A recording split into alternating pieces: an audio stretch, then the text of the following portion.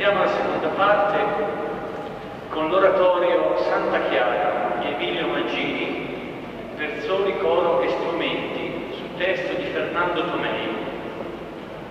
Con l'intenzione di commemorare l'ottavo centenario della nascita di Santa Chiara, la direzione artistica della Cappella Santa Cecilia, non riuscendo a trovare musiche dedicate a questa santa, chiese il testo per una cantata al professor Don Fernando Tomei, seguito, attraverso la persona del direttore del coro, maestra Marco Gargani, ne incaricò della composizione il maestro Don Emilio Mancini. Egli ha scelto il testo di Tomei quanto gli è sembrato opportuno ai fini di un lavoro sintetico ed efficace.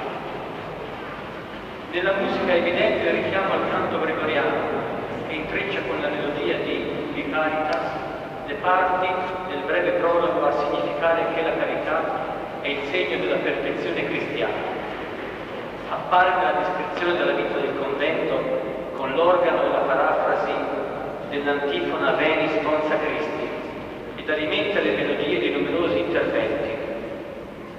Insieme è evidente, specie per il coro, il richiamo ad un gusto, ad una semplicità popolare, non tanto per rifarsi alla semplicità francescana, quanto per una facile ed immediata presa sensibilità degli ascoltatori, anche non colti musicalmente. Il testo dell'oratorio può essere seguito sull'inserto allegato